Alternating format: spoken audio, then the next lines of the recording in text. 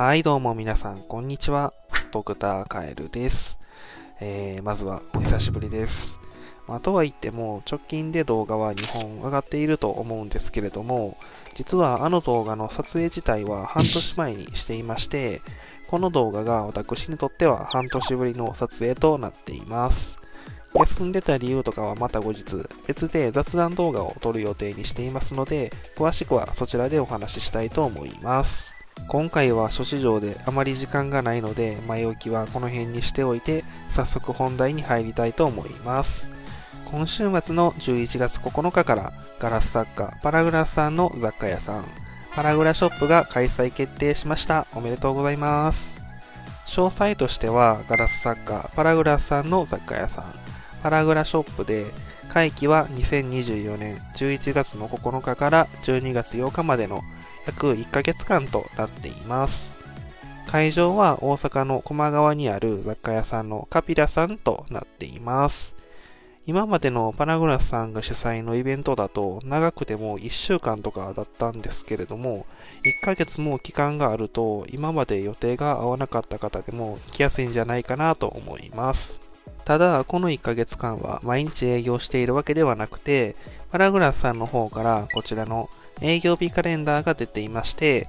月曜日と火曜日はお休みで、基本11時から17時までなんですけれども、木曜日のみ12時スタートとなっているので注意が必要です。そして開催場所はカピラさんということで、去年やっていた企画展、ひらめきや人気者を開催していた場所と同じなので、もうおなじみの雑貨屋さんですね。最寄り駅からカピラさんまでの行き方っていうのは以前の動画で紹介していますので、わからない方は概要欄の URL から見てみてください。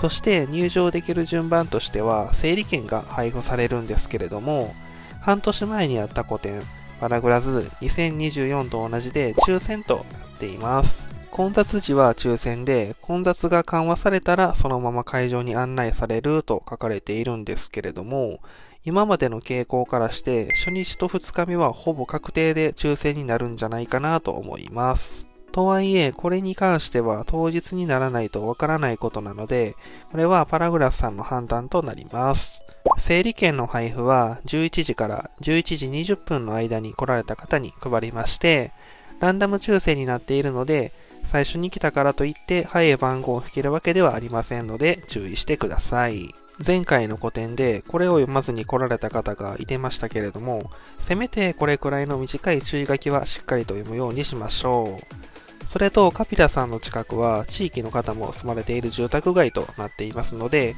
付近での待機も禁止と書かれています。ただ、この近くは商店街にもなっていまして、カフェとかもありますので、もし早めに着いてしまった場合は、近くを散策してみてください。そして、パラグラショップでの販売リストはこちらとなっています。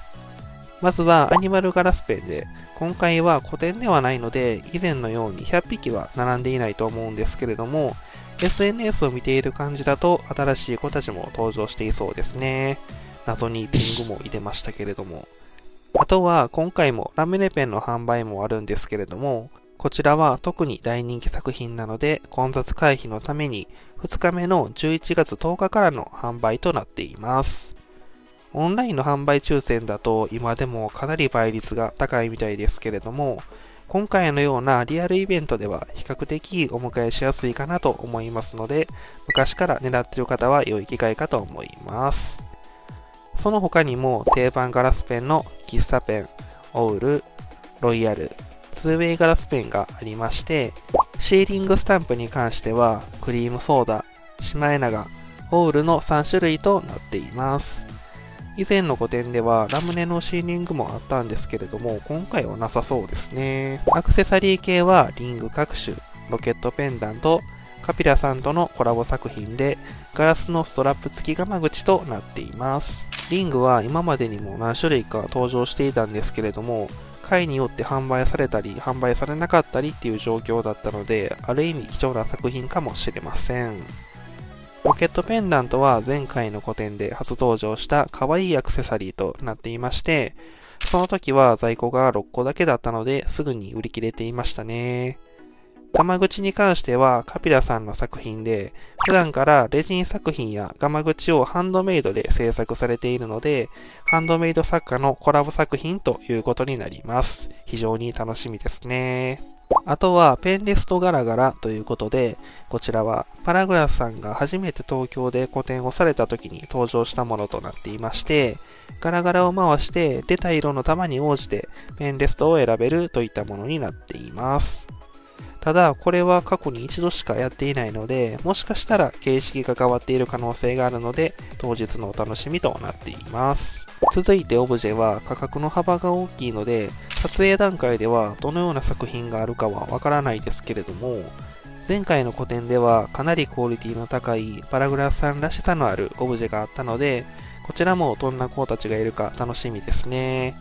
ちなみに SNS には海の生き物とキュービの写真が投稿されていました。どちらもめちゃくちゃ可愛い。残りはおなじみのパラグラスさんオリジナルインクのパラグマインク。そしてマジカルガラスペンとアニマルパフェペンとなっています。マジカルガラスペンは新作で、ハートとオールと書かれているので、おそらくこの2種類のことかと思います。アニマルパフェペンは確か石川県の文具女子博かな？そこで一度販売されていまして、今回が2度目の登場となっていると思います。あとはよく見てみると、リストにない作品が追加納品される可能性もあるみたいなので、これも楽しみですね。そして、なんとこれ以外にもありまして、前回大人気だったアニマルガラスペンのオーダーメイドチケットの抽選販売もあります。こちらは去年の企画展、人気者で初めて開催されたものとなっていまして、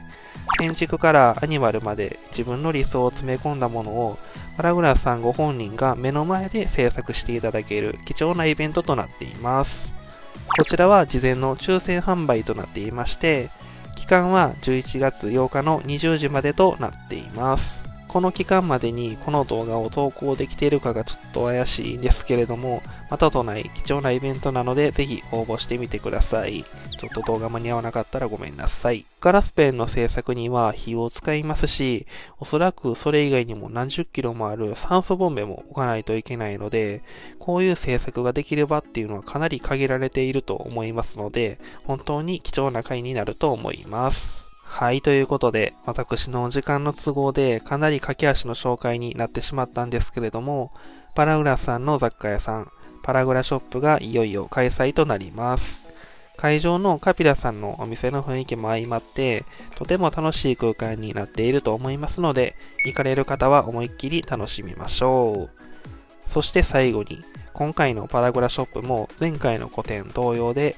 私、ドクターカエルも公式スタッフとしてお手伝いさせていただきます。とりあえずは11月9日、10日の最初の土日はお手伝いする予定となっていますので、忙しくない時でしたらぜひ気軽に声をかけていただけると嬉しいです。ちなみにこの動画というか今までのもそうですけど、パラグラスさんに依頼されて撮っているわけではなくて、自分が今までの知識や経験を活かして勝手に動画を作っているだけですので、イベントに参加される方は必ずパラウラさんの公式 SNS を一度は直接確認していただいて正確な情報を見るようにしてください。それではまたパラグラショップでお会いしましょう。バイバーイ。